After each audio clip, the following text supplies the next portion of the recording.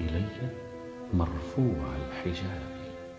حضوري أنت أخلع فيك وهمي وأمضو عنه أردية السراب وأهطل بي إذا جلتك رؤيا وآذن منك طيف باقترابي أحس الشمس في بردي تجري وأن الأرض بعض من ترابي うん。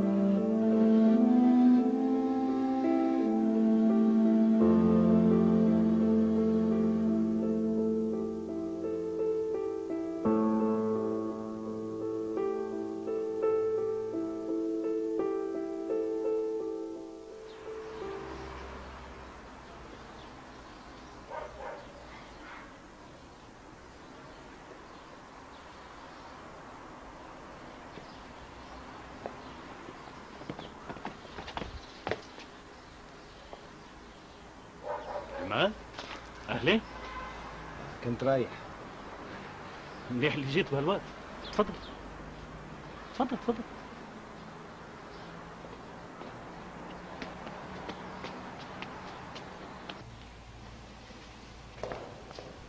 تفضل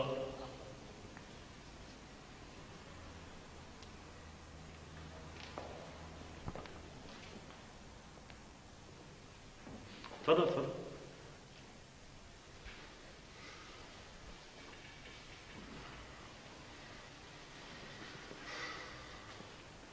شو بتشرب؟ ماشي شكرا شو كنت بتعمل برا بهالجو البارد؟ حبيت اتفقد الأرض اللي حوالي القصر. اشتريتها مع القصر؟ نعم. أنا مبسوط بنجاحك. وأنا متفاجئ فيك. شو بعدك عم تعمل بالضيعة والمجالات فيها ضيقة؟ عم بعلم. والعلم رسالة. وراضي بوضعك ما حدا بيرضى عن وضعه مهما كبر شأنه. بضل في حد ادنى للرضا المدرسة بحاجة لإلنا واللي عم تقدمه مي كرمالها بيستحق المساعدة أمال بنت حلوة. أمان زميل مش أكثر. وليه بعد ما تجوز؟ ليه أنت ما تجوزت؟ أنا ظروفي مختلفة الغربة قاسية أنا ما هجم نصيبي بعد. الظاهر إنه المدرسة عم تاخد كتير من وقتك وما عم تترك لك مجال للتفكير بنفسك. يمكن معك حق. انتبه. العمر قصير. بعرف. وما لازم تقضيه بالأحلام الكاذبة. شو بك يا زلمة؟ أنا جاي أتهمك وشايف إنه القصة انقلبت علي. بشو جاي تتهمني؟ بأنك مجرم. excuse me نعم مجرم بحق نفسك بحق الجمال والناس وكل شيء. قررت إني ما بقى أكتب شعر. من إمتى؟ من وقت ما اكتشفت إنه الشعر هو نوع من الأحلام الكاذبة. يمكن يكون نوع من الأحلام بس أنا ما بتصور الدنيا بدون أحلام. وأنا ما فيي اتصورها مع احلام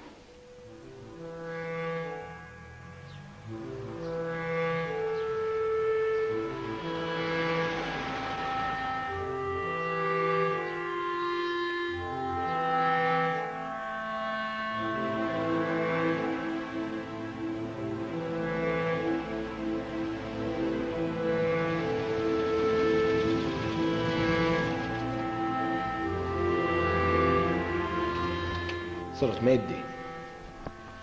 علمتني الحياة. تجربة واحدة ما بتعني الحياة. بعض التجارب تعني هيك على أي تجربة ارتكزت؟ خذ الشعر مثلا. بطعم خبز؟ بيبني قصر لا بس ليس بالخبز وحده يحيا الإنسان. كلام حلو بس الإنسان كمان ما في يعيش بدون خبز. هلا تأمن الخبز. صار فيك تنظم شعر بدون ما تخاف على الرغيف. ما عاد فيي أنظم شعري يا أحمد. الشعراء بياخدوا من تجاربهم المريرة مادة حتى يغذوا الشعر تبعهم. أنا فكري مشلول. صاب بالعقم وانطفت فيه الحياة. هذا بيعني إنك انتهيت كإنسان. بالعكس أنا بلشت كإنسان لأنه الحياة ما بتحتاج لأحاسيس بتحتاج للماء كنت معتقد إننا نلتقي بأفكارنا. أنت بعدك عايش بالأحلام. بهالأحلام حرقت لي كل هالسنين. هيدا هروب. هيدا تحايل على الحياة. والنتيجة اللي وصلت لها؟ وصلت لها أنت؟ طبعا. صرت أملك المال وأغنيك عن الإحساس والفكر؟ من 17 سنة كان عندي فكر وإحساس. كنت مفكر أنه رح يغنوني عن المال. شو كانت النتيجة؟ طعنت بخنجر الغدر.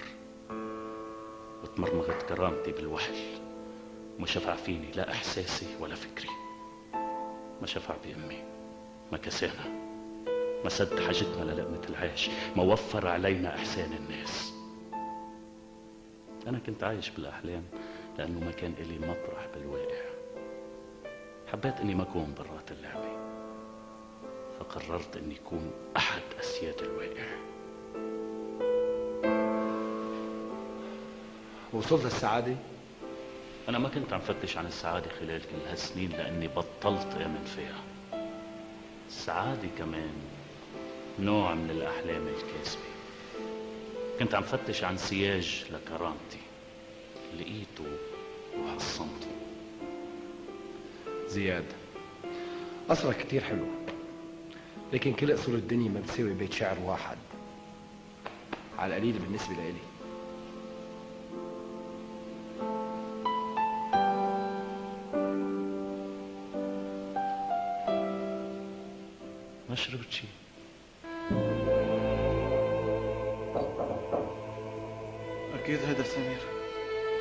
فوت الباب مفتوح.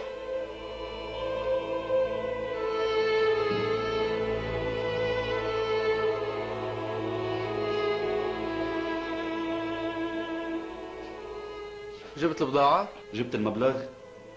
يلا يا سمير ما تكون عنيد. رح ندفع لك بكرة. ما في مصاري ما في بضاعة. كبرت ديونك. كنت دايما ندفع اللي علي؟ قبل ما تقطع أختك عنك المصروف. في يجيب مصاري ساعة اللي بدي. أنا رجال البيت مش هي. وليه ما بتجيب؟ رح أجيب. ايمتى هذا شغلي. وإذا ما رح تعطيني البضاعة هلأ. وحياتك رح أتعامل مع غيرك. تجار كتار. موعدهم غير زبونات مثلنا.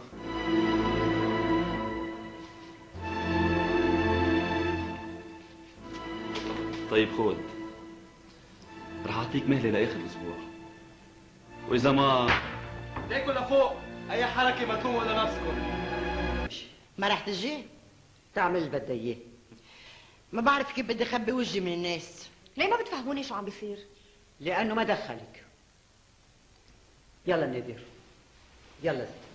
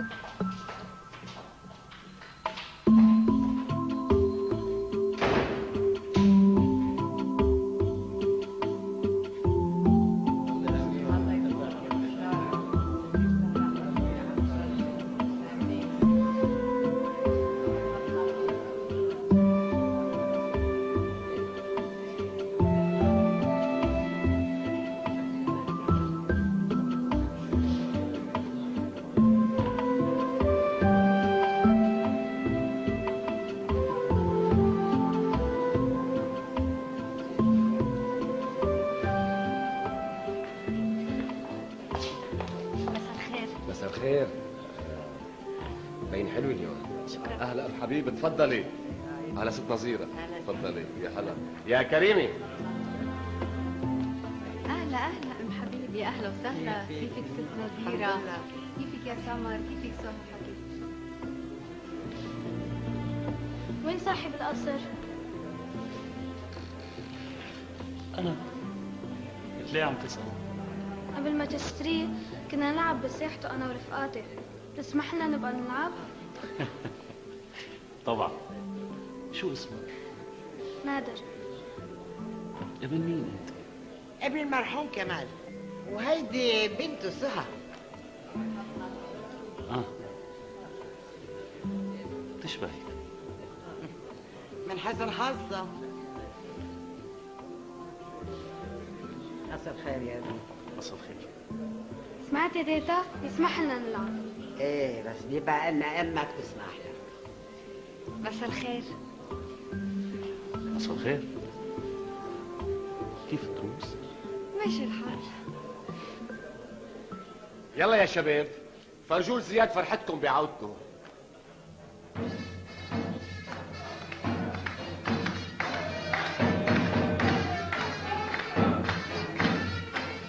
أهلا إبراهيم بي شرفت الدار. ان شاء الله بيضل البيت عامر بوجودك يا مختار. تفضل إبراهيم بي آه سيد زياد مسيك بالخير.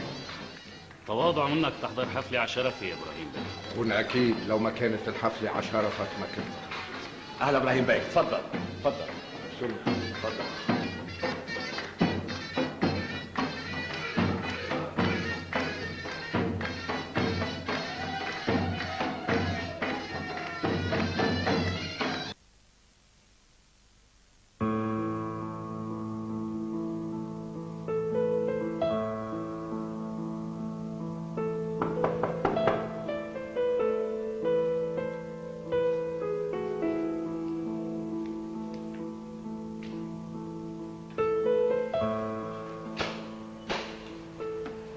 جميل ليش منك بالحفلة؟ سبقتني عيلتي كيف عرفت إني هون؟ تكهنت تفضل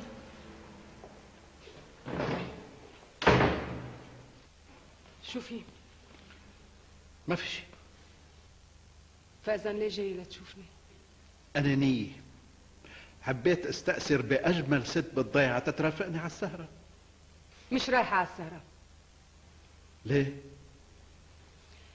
أنا ما بحضر حفلات من وقت ما مات كمال. أنت وكل أهل الضيعة بتعرفوا هالشي. ماي؟ نعم. قولي لي عليك الأمان. عليك الأمان.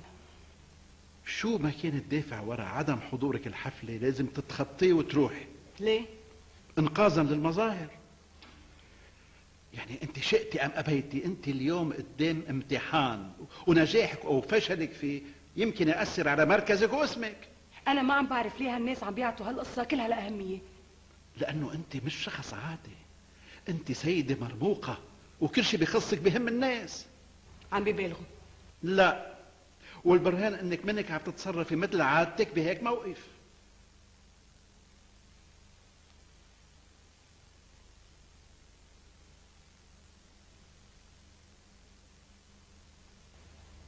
أنت شفته تغير؟ آه، قصدي شكله شخصيته. كبر 17 سنة. أنا خايفة جميل من ايمتى كنت تخافي من المواجهة؟ هالمرة الوضع بيختلف.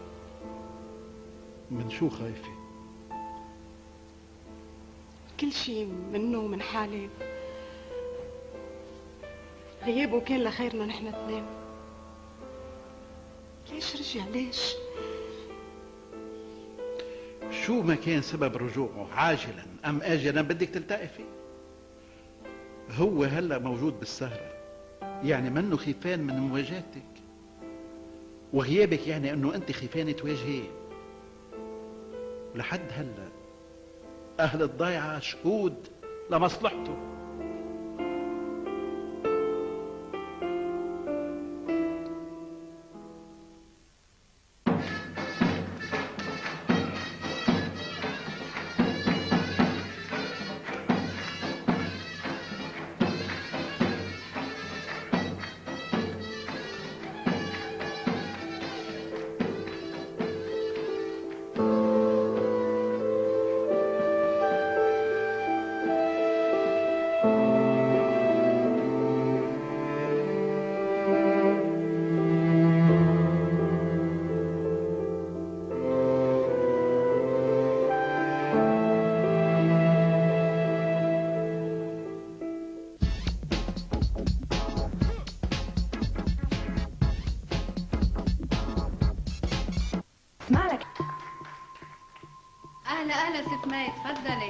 أهلا أستاذ جميل. أهلا وسهلا. كنت مخزن لك كمية كبيرة من العتب لو ما جيتي معقول ما لبي دعوتك الكريمة يا مختار؟ وخصوصا إذا كانت على شرف زياد رفيق الطفولة واللي راجع بعد هالسنين الطويلة من الغربة. مساء الخير زياد.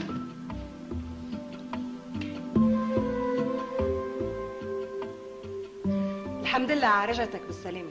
طولت الغيبة. معي بعدك مثل ما أنت. الزمن ما ترك اثر على وجهك بس أنت بلش الشاب فيك. صار لازم تختار لك عروس. شو رأيك مختار ما معي حق؟ ليه حضرتك بتنطقي غير بالحق يا ست ماي شايفة إنه الموسيقى وقفت لما وصلت. إذا كان وجودي بيلغيها فخليني أرجع من مطرح ما جيت. شو حاجتنا للموسيقى بوجودك؟ أنت أجمل موسيقى ألفها عبقري الزمن. شو يا مختار تحولت لشاعر ولا كل الشعراء. أنا الليل شاعر وموسيقي ومختار وكل شيء بس اللي جمعتهم كلكم تحت سقف بيتي. أهلا وسهلا فيك. تفضلي قعدي حد ضيفنا العزيز. آه شكرا مختار بدي أشوف ستي والولاد. آه هلا برجع. عن اذنك زياد شو الظاهر غيرتي رأيك؟ بخصوص؟ صرتي تحضري حفلات. حسب مين العازم. أنا حفلاتي مش من مستواك لا هيك حفلاتك مش على مزاجي ليه دعايتك على حفلات بيحضروها أهم الشخصيات أهم الشخصيات بالنسبة لي هن أولاد ضيعتي. أنت عنيدة يا مي. عنيدة كتير وهيدي أكبر سيئاتك. الكمال لربنا يا إبراهيم بيك. بس آه، جمالك الليلة رائع. شكرا بالإذن. عملت حفلة على شرف زياد عبد الله تحضريها أنا ما بحضر حفلات يا إبراهيم بيك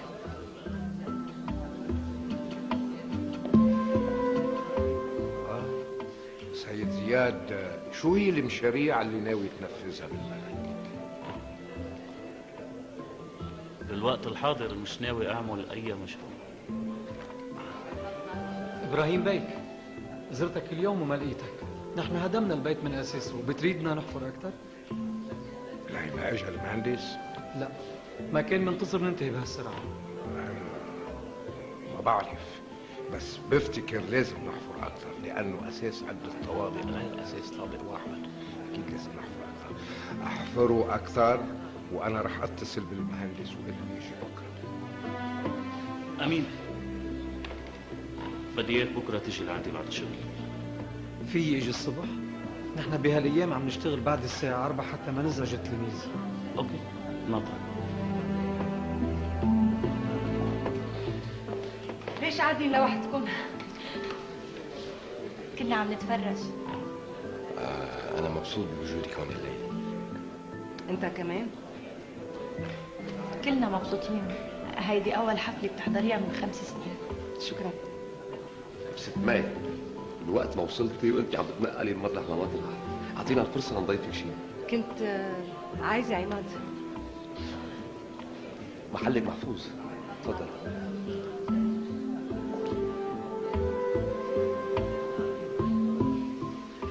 ما تخيس حلوة يا ما هيك بلا بس سر مش بجمالها شو هو سر فاذا إذا بعرف يبطل سر. بتذكر إنه كل شباب الضيعة كانوا مغرومين فيها؟ ما بيزعجك هالشيء اللي بده يزعجني؟ لانها مرت خيك. بالعكس. هيدا بخليني حس بالفخر لأنه فاز فيها خيي من بينهم كلهم. خلينا نروح صوبا أنا بعد ما حكيت مع زياد الليلة إيه يا زياد خبرنا أخبار غربي شو كنت عم تعمل هونيك كل هالوقت؟ كنت عم عدل الأيام لأرجع على الضيعة يا مختار. ما خبرتنا شو كنت عم تشتغل؟ اشتغلت بمصنع للنسيج وبعدين اشتريته. نيالك أنا صار لي 30 سنة بشتغل بالمدرسة ومش قادر أشتري حجر من حجارة. المدرسة ملك كل أهل الضيعة وأنت واحد منهم. هيك كان يقول المعلم نحن ما بنجتمع مرة يا ماي بدون ما نذكره. ليش المعلم بينتسى؟ كان شخصية معتبرة ومحترمة. ما حدا قدر ينتزع المركز اللي كان محتله بقلوب الناس. مع إنه كان رجل فكر مش صاحب ثروة. ومين قال إنه المال بيشتري القلوب وبيفرض الاحترام؟ في حدا قالها. أما زياد بالماضي قال العكس تماما. شو قال زياد؟ آه ليه ما نغير الموضوع. أستاذ جميل. عماد. شو يا زياد؟ ما بدك ايانا نسمع اللي قلته من أكثر من 20 سنة؟ ليه تحرمنا هالمتعة؟ ما بدكم تسمعوا شعر زياد؟ طبعا. رجعنا للماضي يا أستاذ جميل لما كان شعر زياد نجم السهرات.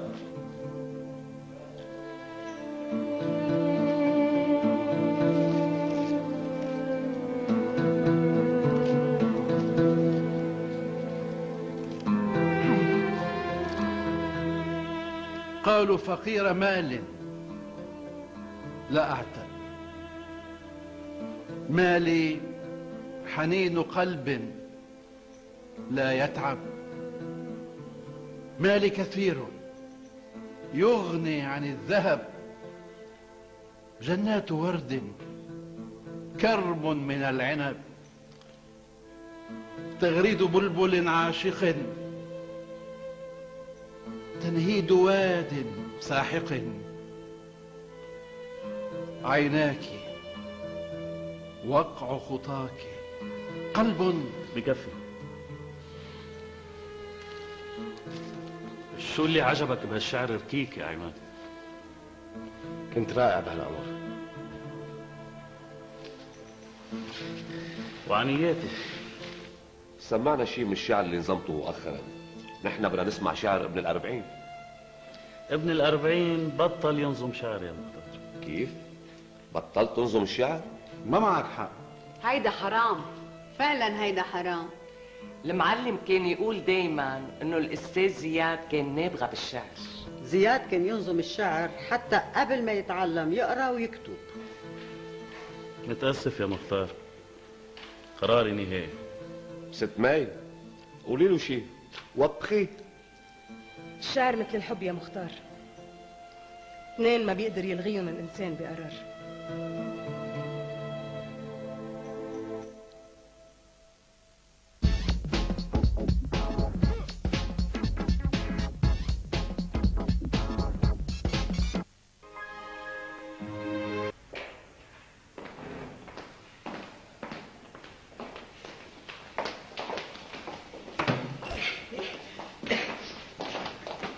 ما راح الطقس بهالشتوية بكرة رح أوعى على الوجه. حسين بعرف حبيبي. تعي سهى حبيبتي. ماما عمو زياد سمح لنا نلعب حوالي القصر. تسمحي لي أنت؟ إذا كانت علاماتك منيحة على الشغل رح أدرس كتير. تصبحي على خير. تصبح على خير.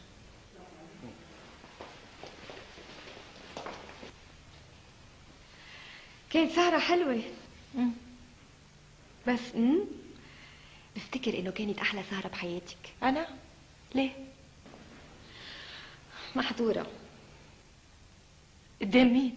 يعني كأني عم بخفي شيء. بخفي؟ حبك له واضح مثل عين الشمس. سمر اللي بيسمعك عم تحكي ما بقول إنك بال 24 ما تواخذيني ما قصد تضايقك أنت مش بس عم تضايقيني وعم تحكي كلام ما له معنى. الظاهر إن الموضوع بلش ياخذ طابع الجدية. سمر انت عم تتدخلي بأمور ما بتعنيكي. هيك تعب تصبحي على خير. أنا كمان فايتة نام أمي جاي معي؟ طبعا أكيد. معي تعبانه بعد كل هالجهد يلي بذلته. وما رح نزعجها بوجودنا. شكرا لتفهمك. أمي تعي تصبحي على خير. وانت من أهله.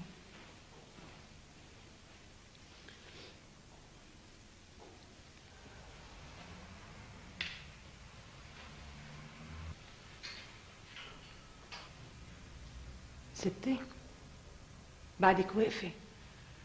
انت كمان عندك شي بدك تقوليه؟ إيه. بدي أقول إنك كنت بحجم الموقف مثل عادتك دايما. أنا فخورة فيكي ما تتخيلي قديش أنا كمان فخورة بنفسي.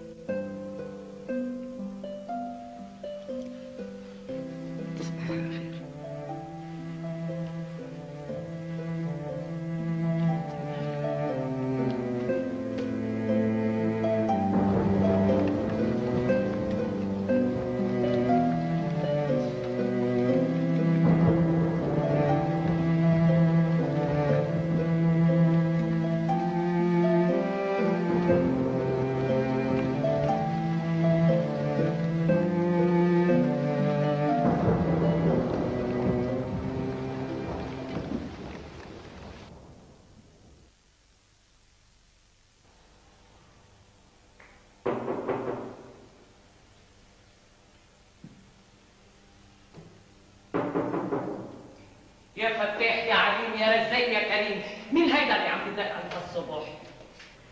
صباح الخير. صباح الخير. كلفنا ابلاغكم إنه تم القبض على ابنكم نبيل الداير وأدخلوه السجن. يا تعتيري نبيل بالحبس؟ مين يا زهية؟ تعي يا عم حبيب تعي. نبيل نبيل بالحبس يا عم حبيب. بالحبس؟ نبيل بالحبس؟ ليش بشو تهمينه؟ فهم تعاطي الممنوعات. ممنوعات؟ شو يعني الممنوعات؟ ما بعرف شو يعني الممنوعات يا أمال؟ شو في؟ شو بو نبيل؟ قبضوا عليه وحطوه بالحبس بالإذن مي نبيل بالحبس هيدا المكان المناسب لإلي شو رح تعملي؟ رح زوره تزوريه؟ ما رح تحاولي تطلعيه؟ أنا بوثق بالعدالة وهي رح تطلعه بس يبطل سبب دخوله على السجن شان أخت الحنونة؟ ما رح خليكي تقعدي تكتفي إيديكي وخيي بالحبس. ما رح كتف إيدي وأقعد رح ألبس ثيابي وروح على الشغل. هي اللي فوتتني على الحبس. هي اللي فوتتني على الحبس يا ستي. هي اللي وصلتك لهون؟ هي اللي تشكت علي. ليه بدها تتشك عليك؟ تتخلص مني. ما بدها ياني هدد مصالحها. معه حق. تصرفاتها بتبرهن شكه شكي؟ أنا مش شاكك أنا متأكد. امبارحه هددتني قالت لي إياها بتمها. القاسية ظالمة. ستي ما تتركيني وحدي هون. ما في اتحمل الحبس. ما في اتحمله بموت إذا تركتوني هون. ما رح نتركك. رح نطلعك شو ما كان الثمن ستي أنت الوحيدة فيك تاثري عليها ما تخليها تستهتر فيي. ما بعتقد إنه هي اللي تشكت عليك. مستحيل تكون هي. أنا متأكدة إنه هي هي. أختي قادرة تعمل أي شيء. مستعدة تدوس علينا كلنا إذا كنا بنهدد مصالحها. سمر انت بتصدقيني ما هيك؟ ما رح تتركي خيك الوحيد هون. ما تخليها تستهتر فيي.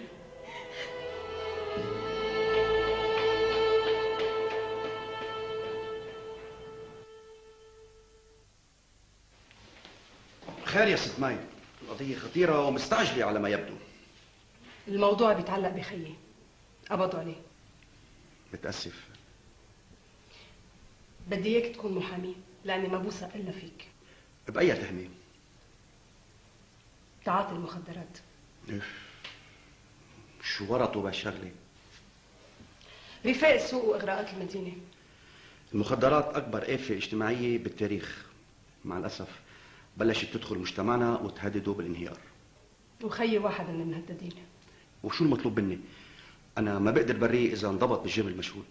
أنا ما بدي إياك تبريه أستاذ منصور. خيي مش بريء. أنا بدي منك تأمن له الأسباب التخفيفية. هو منه عاطل بس للأسف غير مسؤول. خيك شاب كتير محظوظ لأنه عنده أخت مثلك متفهمة شكرا. آه، كيف انكمش؟ وشاية ومين خبر عنه؟ بركي في حدا حابب ينتقم منه ولبسه التهمة؟ أنا يا أستاذ منصور. أنا فكرك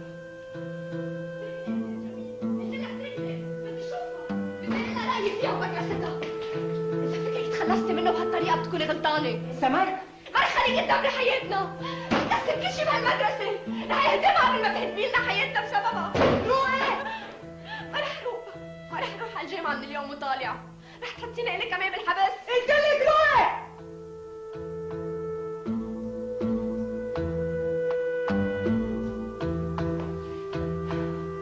أستاذ منصور. إذا احتجتني بأي شيء أنا حاضرة. أنا مبدئيا لازم زوره لأطلع على التفاصيل ببقى بتصل فيك بالليل. شكرا.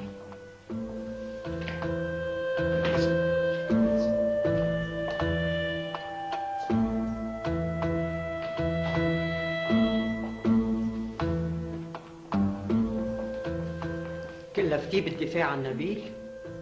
شو كنت مفكرة؟ بتفسدي عليه بترجعي بتوكلي له محامي أي صنف من البشر أنت. من الصنف اللي بده يمنع خيه من هدم حياته. بدك تحبسيه الحبس أرحم له من الإدمان. يعني أنت فسدتي عليه للشرطة؟ نعم ستي.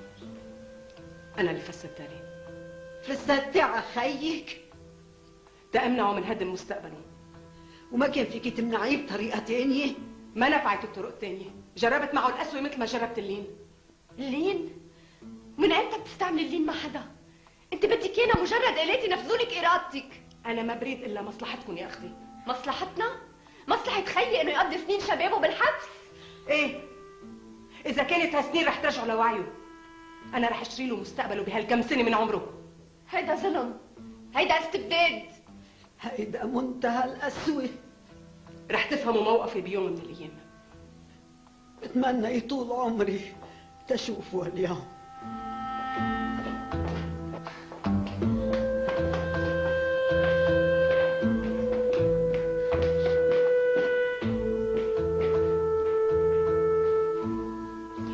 عاطفتهم عم تحكي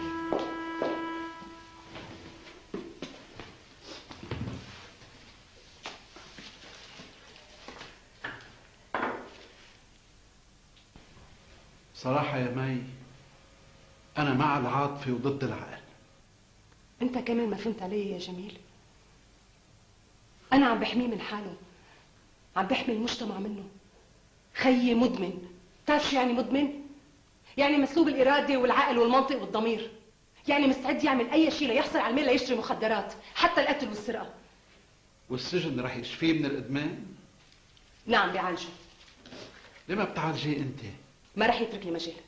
بالسجن رح يكون تحت الإقامة الجبرية وبيضطر يخضع للمعالجة. يمكن يكون معك حق. لا أكيد معك حق. بس أنا مثلا أضعف من إني أتصرف مثلي لو كنت بوضعك. الإدمان ضد القانون ونبيل خلف القانون انتهى الموضوع. بدي أشوف عماد فرصة الغداء.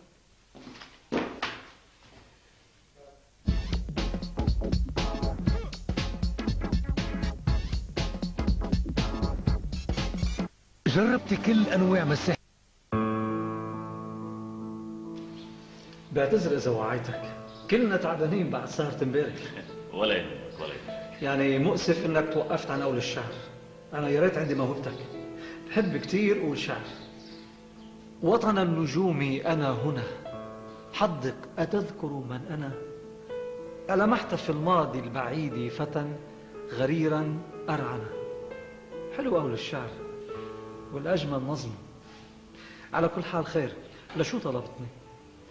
مثل ما أنك شايف. رمامة قسم صغير من القصر بكفيني أعيش فيه بوقت سريع. بدي منك ترمم القسم التاني منه.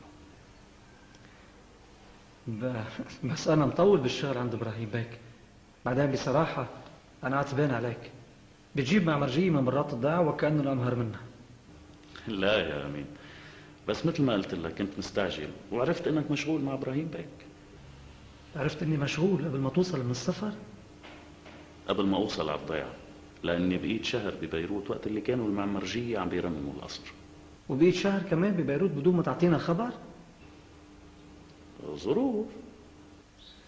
طيب آه، نحن بنبدأ بالشغل عندك بعد ما نخلص شغلنا ببناية إبراهيم بيك. فيك تنطرنا كل هالوقت؟ مع إني مستعجل رح أنطرك مشان أثبت لك إني بحب افيد ابن ضيعتي قبل الغريب. اتفقنا؟ شكرا يا سعدة أنا فعلا بحاجة لفنجان قهوة. شكرا.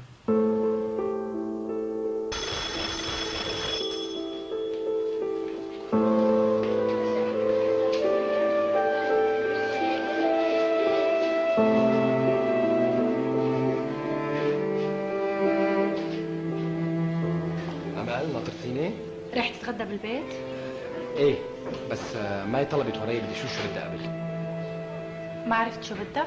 لا. طيب رح روح شوف سهى ونادر. رح أنطرك على المدخل. سبقيني بكي تاخرت عندها إذا رح تتأخر طل عيط لي.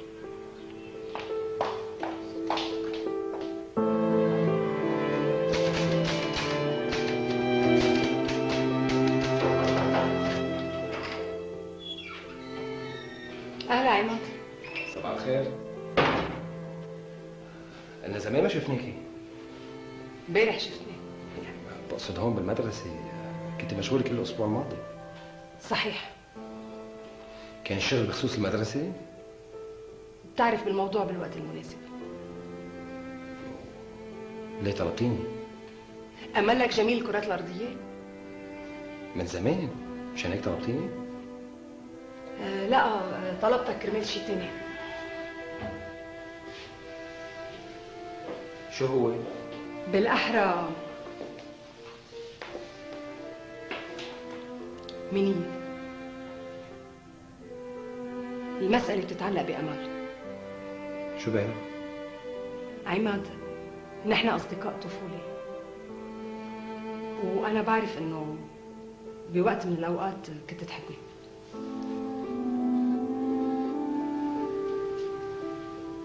شو قلتي؟ بعرف إنه الموقف فيه إحراج إلنا اثنيناتنا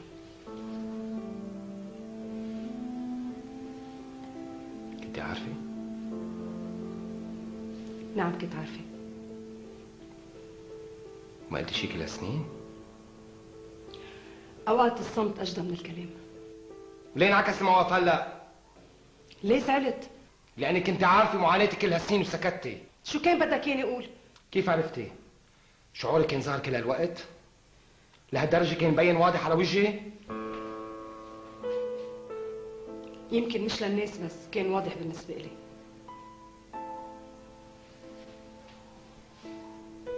وسكتتي؟ عماد هيدي قصة قديمة انتهت كيف عرفت إنها انتهت؟ بركي بعد ما انتهت جاوبيني بطل ظاهر حبي إليك؟ السنين علمتني اخفيه عن الأنظار؟ جاوبيني ماي اسكت عماد. هيدا الحكي ما عاد له معنى هلا. أنا ست مجوزة وعندي ولدين وما لك أمل معي. من إمتى كان عندي أمل معك؟ وما راح يتغير شيء هلا.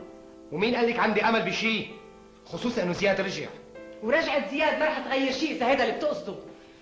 أنا كل بهمني هلا. ولادي أهلي والمدرسة. وأي شيء برات هيدا الموضوع ملغى بالنسبة إلي. هيدي أول مرة بتفتحي على الحديث معي. لأنك صديق بكل الظروف اللي مرقت فيها كنت عنوان الوفا والإخلاص. وإذا ما حكيت هيدا ما بيعني إني ما بقدر. وشو إلها علاقة أمال بهالموضوع؟ أمال صبية ممتازة. ماي ما بتعتقدي إنك عم تبالغي كثير؟ إذا أخذت قرار إنه ما عندي أمل معك أنت حرة، بس تاخدي قرار عني. مين هو الشخص المناسب إلي تيحل محلك بتكوني عم بتبالغي. لأنه بهمني سعادتكم اثنيناتكم كيف عرفتي إنه سعادتنا إنه نكون مع بعض؟ لأن إنسانة ممتازة ولأن أهل إنها تحمل اسمك وتكون ست بيتك. ولأني بعرف إنها رح تكون سعيدة معك.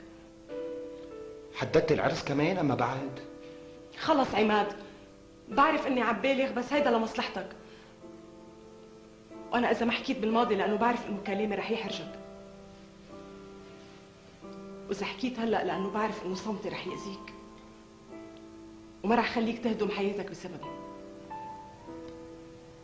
هاي بعتقد إنك وصلت متأخرة. أنا بالنسبة لإلي فات الأوان. لا بعد ما فات الأوان ورح تعرف إنه بعد ما فات الأوان إذا بتفتح عيونك وبتطلع حواليك كنت رح أنسى. يا حي نطتني على مدخل المدرسة ترافقها على البيت. بالإذن.